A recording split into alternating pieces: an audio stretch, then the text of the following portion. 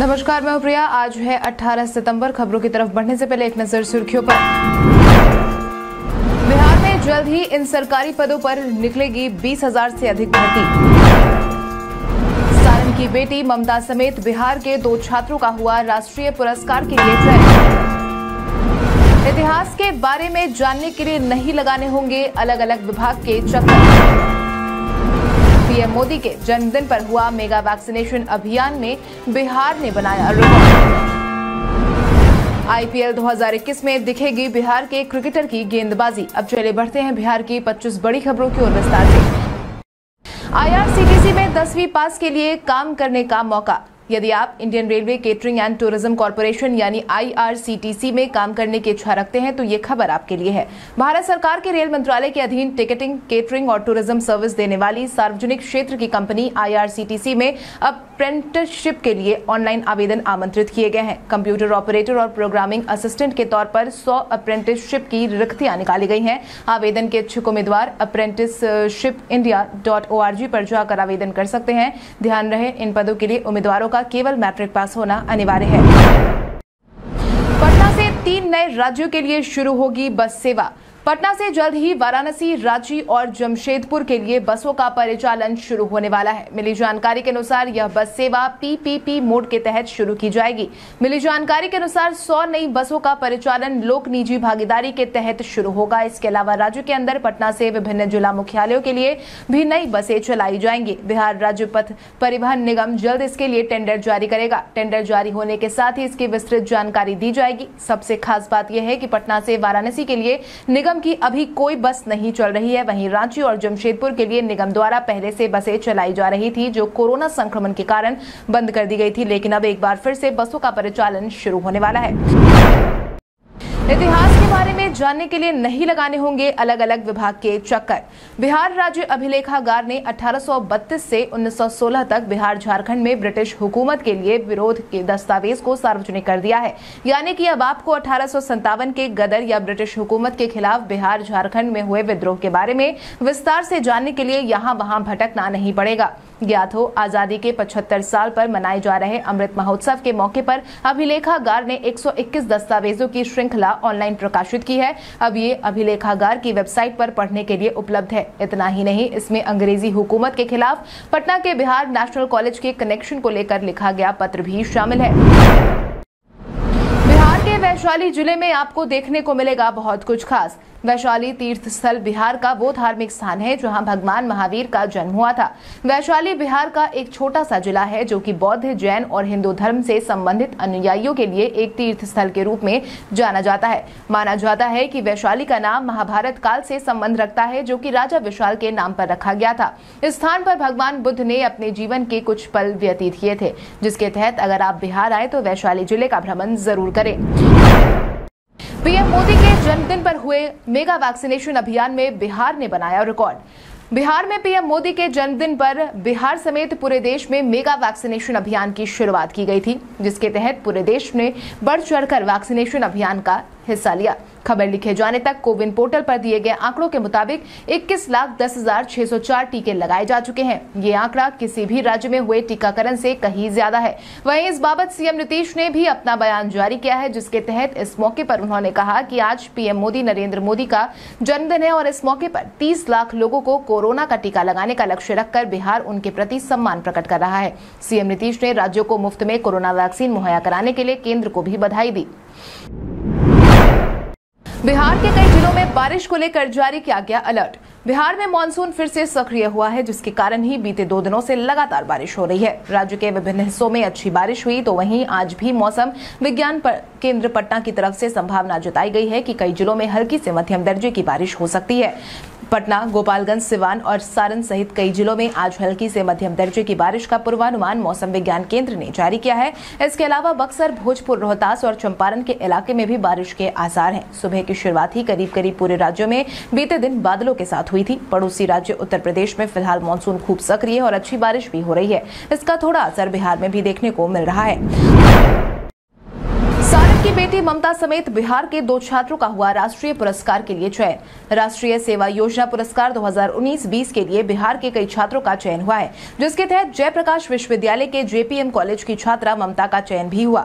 ममता को एनएसएस के तत्वाधान में आयोजित पौधारोपण, रक्तदान, दलित बस्ती में बच्चों को निःशुल्क पढ़ाई, पोलियो मिटाओ अभियान, मतदाता जागरूकता अभियान में बढ़ चढ़ कर हमेशा हिस्सेदारी निभाने के लिए इस पुरस्कार से नवाजा जाएगा। इसके साथ ही इसमें बिहार से दो एनएसएस कैडेट के अंतिम रूप में छात्रों का चयन हुआ है। आपकी जानकारी के लिए आपको बता दें, एनएसएस के क्षेत्र में बेहतर कार्य करने वाले कैडेट को यह सर्वोच्च सम्मान दिया जाता है। वहीं पूरे देश में 30 एनएसएस स्वयं सेवकों का इस पुरस्कार के लिए चयन हुआ है। संघों ने टीईटी और सीटीईटी पास सभी शिक्षकों को प्रधान शिक्षक बनाने की उठाई मांग। बिहार सरकार ने जब से प्राथमिक विद्यालयों के लिए प्रधान शिक्षक और माध्यमिक विद्यालयों में प्रधान अध्यापक बहाली की कुल पैंतालीस पदों के लिए नौ शर्तें लागू की हैं। उसके बाद से ही तमाम शिक्षक संघ इसका विरोध कर रहे हैं। शिक्षकों ने इसके लिए साफ़ कहा है कि अनुभव के आधार पर नहीं, बल्कि टीईटी और सीटीईटी और एसटीईटी पास शिक्षकों को ही परीक्षा में शामिल होने का मौका दिया जाए। और इसकी मांग भी अब उठाई जा रही है। इस बाबत प्राथमिक विद्यालय में प्रधान शिक्षक के पद के लिए होने वाली बहाली में टीचर एलिजिबिलिटी टेस्ट पास सभी शिक्षकों को मौका देने की मांग टीईटी शिक्षक संघ ने सरकार से की है। संघ ने मुख्यमंत्री और शिक्षा विभाग के अपर मुख्य सचिव को पत्र लिखा है, जिसमें प्रधान शिक्षकों की बहाली में टीईटी को अनिवार्य करने का आग्रह किया गया है। जल्द ही इन सरकारी पदों पर निकलेगी बीस हज़ार से अधिक भर्ती। पीएम मोदी के जन्मदिन पर बीते दिन बिहार सरकार के स्वास्थ्य मंत्री मंगल पांडे ने बड़ा ऐलान किया। इस बाबत उन्होंने कहा कि आने वाले समय में बिहार में बीस हज़ार सरकारी नर्सों की पदों पर भर्ती की जाएगी। इस बाबत मंत्री ने आगे ये भी बताया कि बिहार में दस हज़ार रेगुलर, आठ हज़ार से अधिक संविदा पदों पर भर्ती प्रक्रिया शुरू की जाएगी। उन्होंने आगे कहा कि बिहार में कोरोना वायरस काबू में है, लेकिन फिर भी बिहार सरकार सतर्क मोड में आने वाले समय को ध्यान में रखते हुए स्वास्थ्य विभाग को जल्द ही नर्स के पदों आवेदन की मांग कर रही है। वहीं इस महीने के अंत तक पाँच करोड़ पचास हज़ार से ज़्यादा टीकाकरण का लक्ष्य बिहार के पार करने की बात भी उन्होंने कही है। इसके साथ ही मंगल पांडे ने मीडिया से बातचीत करते हुए ये भी कहा कि बिहार में दो मेडिकल कॉलेज खोलने की प्रक्रिया जल्द शुरू होगी। पंचायत चुनाव में मतदान और मतगणना में होगी वेबकास्टिंग। पंचायत चुनाव की तैयारी बिहार में लगातार जारी है। इसी बीच चुनाव को लेकर एक और बड़ी जानकारी निकल करके सामने आई है, जिसके तहत पंचायत चुनाव में गड़बड़ी को रोकने के लिए अब आयोग ने जिला प्रशासन को मतगणना और मतदान की वेबकास्टिंग कराने का आदेश दिया है। हालाँकि ये नियम अभी कितने बूथों पर होगा, इसको स्पष्ट नहीं किया गया है। लेकिन जिला प्रशासन एंड्रॉयड मोबाइल के सहारे सभी बूथों से वेबकास्टिंग कराने की तैयारी में जुटा है। अगर सभी बूथों पर वेबकास्टिंग अनिवार्य हुई तो एंड्रॉयड मोबाइल के सहारे वेबकास्टिंग कराने का प्रयास किया जाएगा। आपकी जानकारी जानकारी के लिए आपको बता दें कि पंचायत चुनाव को लेकर जिला में अभी 18 कोषांग कार्यरत है। स्कूलों में अतिरिक्त क्लासरूम निर्माण के शिक्षा व्यवस्था में हो सकता है सुधार। सूबे के चौदह तिरासी स्कूलों में 2,750 अतिरिक्त क्लासरूम के निर्माण और 2,950 माध्यमिक और उच्च माध्यमिक विद्यालयों में उपस्करों की खरीदारी के लिए राशि जारी की गई है। क्योंकि हाल ही में विद्यालयों में शिक्षकों की नियुक्ति और क्लासरूम बनाने का फैसला लिया गया था। हालाँकि जानकारों की माने तो राज्य सरकार का यह फैसला राज्य सरकार की प्रतिबद्धता का परिचायक है। सरकार बेहतर शिक्षा व्यवस्था के लिए हर ज़रूरी कदम उठा रही है। उच्च शिक्षा को बढ़ावा देने के लिए सभी पंचायतों में हाई स्कूल स्थापित किए गए हैं। सहायक शिक्षकों की भी नियुक्ति की जा रही है। हालाँकि जानकारों का यह भी मानना है कि इसकी भी अनदेखी नहीं की जा सकती कि शिक्षकों को गैर शैक्षणिक कार्यों में लगाने से बच्चों की पढ़ाई काफ़ी ज़्यादा बाधित होती है। बिहार के शिक्षक नियोजन में धांधली का हुआ खुलासा, शिक्षक बनने के लिए मांगे गए इतने लाख। बिहार में इन दिनों शिक्षक नियोजन की प्रक्रिया चल रही है। हालाँकि इन सबके बीच बीते दिन बिहार में शिक्षक नियोजन में बड़ी धांधली का खुलासा हुआ है। यह घटना बिहार के मध्यपुरा ज़िले की है, जहाँ पर ऑडियो एक तेज़ी से वायरल हो रहा है, जिसके तहत टीचर बनाने के लिए शिक्षा पदाधिकारी ने आठ लाख रूपए घूस की मांग की है। इतना ही नहीं, सबसे हैरान करने वाली बात यह है की शिक्षा विभाग के एक अधिकारी खुद इस सेटिंग में शामिल है, जो आठ दस लाख रूपए रिश्वत लेकर शिक्षक बनाने का दावा कर रहे हैं। शिक्षा पदाधिकारी का दावा है कि नीचे से ऊपर तक टाइट सेटिंग है। वीडियो से लेकर मुख्यमंत्री कार्यालय तक मैनेज है। ऑडियो वायरल होने के बाद जिला के प्रशासनिक महकमे में अब हड़कंप मच गया है, जिसके बाद अब जाँच का आदेश जारी कर दिया गया है। आईपीएल 2021 में दिखेगी बिहार के क्रिकेटर की गेंदबाजी। जल्द ही आईपीएल 2021 की शुरुआत होने वाली है। ऐसे में बिहार के लिए गौरवान्वित करने की बात इसीलिए है क्योंकि आगामी आईपीएल में रोहतास के बड्डी गाँव निवासी आकाशदीप इस साल नज़र आने वाले हैं, जिसके तहत आकाशदीप दूसरे चरण में रॉयल चैलेंजर्स बेंगलुरु की तरफ़ से खेलेंगे। क्योंकि आगामी आईपीएल में विराट कोहली की टीम में घायल खिलाड़ियों के कारण पाँच परिवर्तन किए गए हैं, जिसमें चार विदेशी खिलाड़ियों के साथ एक भारतीय खिलाड़ी आकाशदीप को जगह मिली है। आकाशदीप घायल वॉशिंगटन सुंदर के स्थान पर टीम में शामिल किए गए हैं। इसको लेकर ऑलराउंडर आकाशदीप आईपीएल दो में भाग लेने दुबई भी पहुँच चुके हैं। ज्ञात आकाशदीप बड्डी गाँव के किसान परिवार से ताल्लुक रखते हैं। एटीएम फ्रॉड मामले में पटना का भी आया नाम। एनसीआरबी की रिपोर्ट में हुआ खुलासा। एटीएम से धोखाधड़ी मामले में बिहार की राजधानी पटना का स्थान तीसरे नंबर पर है। हैरान करने वाली बात यह है कि पटना को यह स्थान मेट्रोपॉलिटन शहर, मुंबई, हैदराबाद के बाद मिला है। आंकड़ों के अनुसार पटना में इस तरह के छियासी मामले आईटी एक्ट के तहत दर्ज किए गए हैं। वहीं एनसीआरबी के आंकड़ों के अनुसार बिहार में एटीएम फ्रॉड के 642 मामले सामने आए हैं। इसके अलावा ऑनलाइन बैंकिंग फ्रॉड के 105 मामले और ओटीपी फ्रॉड के आठ मामले विभिन्न थानों में दर्ज किए गए। हालाँकि राहत की बात यह है कि बीते साल के मुकाबले राज्य में आर्थिक अपराध के ग्राफ में कमी आई है। वर्ष 2018 में आर्थिक अपराध में बारह मामले, वहीं वर्ष 2019 में अपराध की संख्या बढ़कर 1535 और 2020 में ग्राफ गिरकर तीन साल में न्यूनतम स्तर 1017 पर पहुँच गया है। रामविलास पासवान को भारत रत्न दिलवाकर ही मानेगी लोजपा। स्वर्गीय रामविलास पासवान की बरखी हाल ही में मनाई गई थी। इस समय लोजपा समेत विपक्षी दलों ने स्वर्गीय रामविलास पासवान को भारत रत्न से नवाजने की मांग की थी।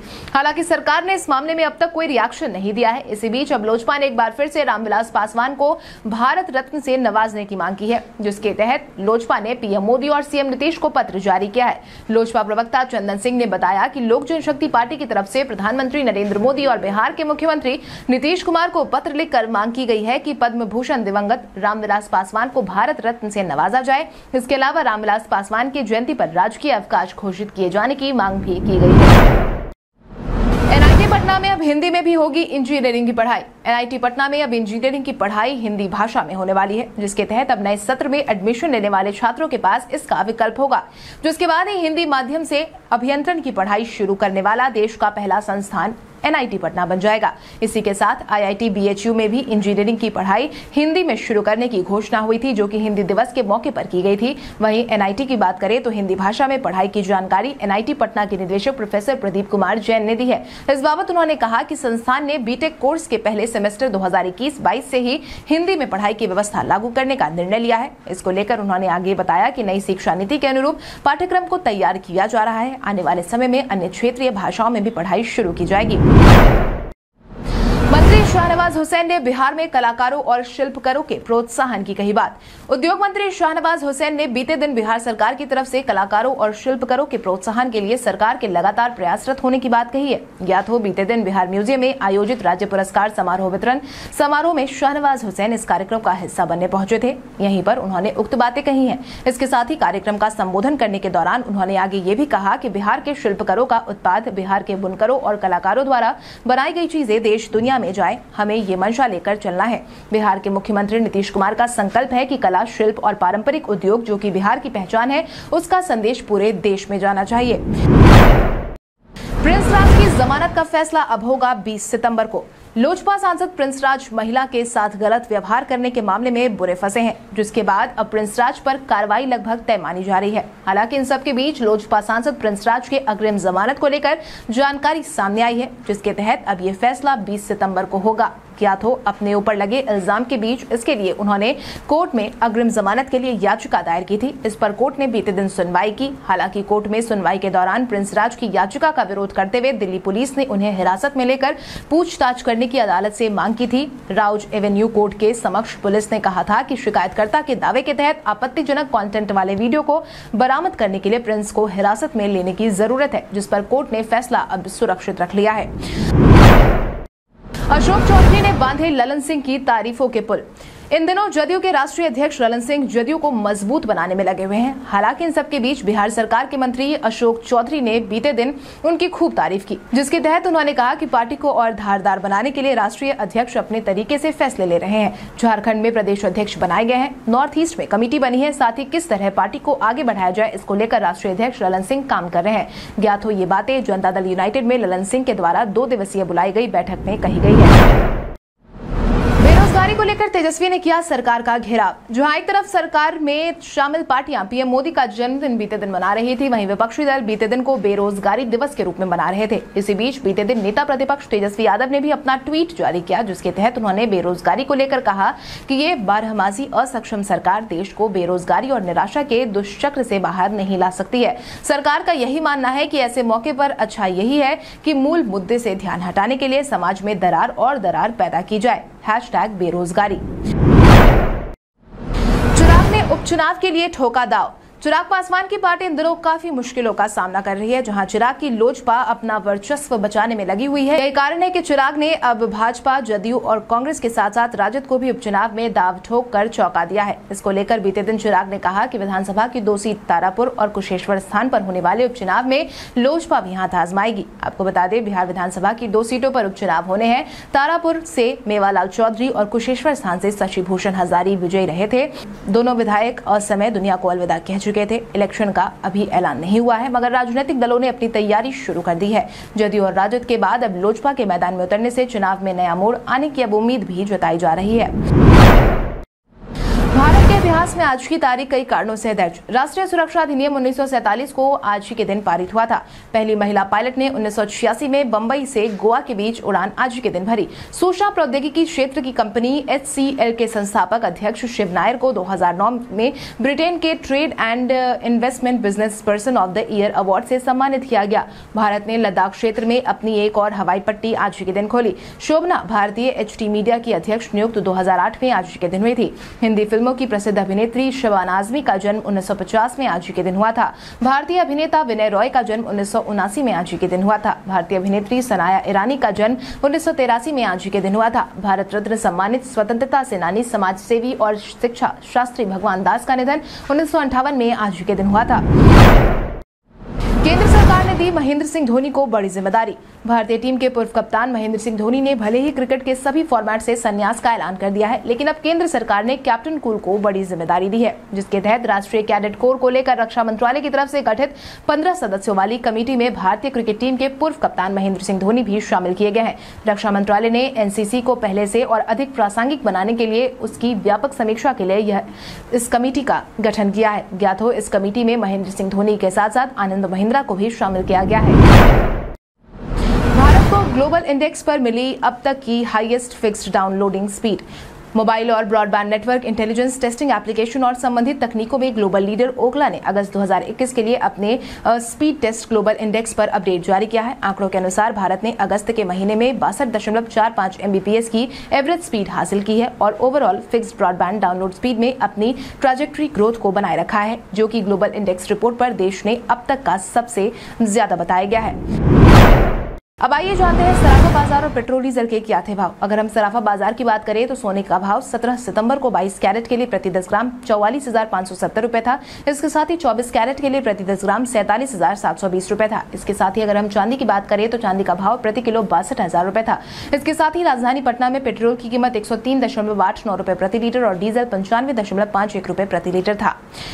कल हमारे द्वारा पूछे गए सवाल का जवाब आप में से बहुत सारे यूज़र ने हमें कमेंट करके दिया था। उसके लिए आपका बहुत बहुत धन्यवाद। आप में से जिन यूज़र का कमेंट हमें अच्छा लगा है, उनके नाम है मितीशा प्रेमी, दशरथ प्रसाद, बिदुर कुमार, राजा कुमार, बंटी कुमार, रामू कुमार, विकास कुमार, उत्तम शर्मा, सोनू कुमार, सचिन कुमार, शशि भूषण, अमित कुमार, गुड्डू कुमार सत्येंद्र कुमार, कुंदन कुमार, आनंद सिंह, सुधीर कुमार, बबलू यादव, रंजीत कुमार, अमन कुमार। इसके अलावा हमारी टीम को और भी लोगों के जवाब अच्छे लगे हैं, मगर समय के अभाव के कारण हम उनका नाम नहीं ले पाए। लेकिन आप हमारे सवालों का जवाब देते रहे। हम कल आपका नाम लेने की पूरी कोशिश करेंगे। तो चले बढ़ते हैं आज के सवाल की ओर। आज का सवाल कुछ इस प्रकार है। आपके अनुसार महेंद्र सिंह धोनी को रक्षा मंत्रालय की तरफ़ से गठित पंद्रह सदस्यीय वाली कमेटी में शामिल करने का केंद्र सरकार का फैसला सही है या नहीं? अपने जवाब हमें कॉमेंट करके ज़रूर बताएँ। इसके साथ ही आज के लिए बस इतना ही। बिहार की बड़ी खबरों से अपडेटेड रहने के लिए हमारे यूट्यूब चैनल को सब्सक्राइब करें और बेलाइकॉन दबाना ना भूलें। धन्यवाद।